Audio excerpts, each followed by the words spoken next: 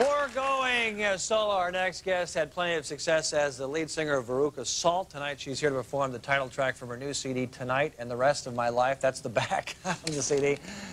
I just kind of like the back. Please welcome Nina Gordon right here.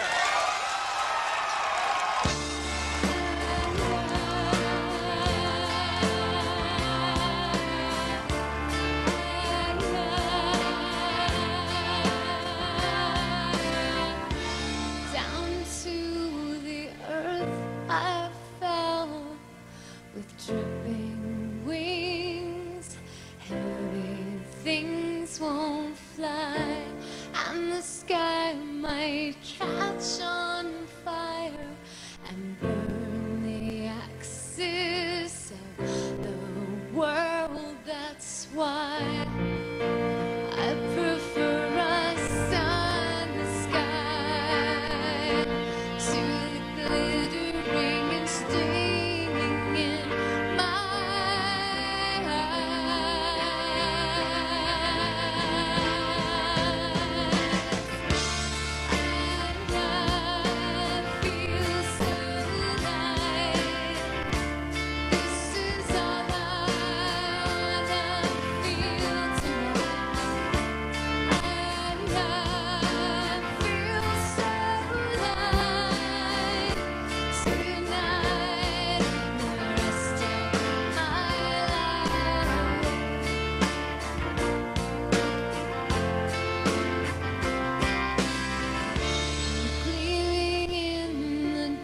dark I'm as light as air, floating there breathlessly.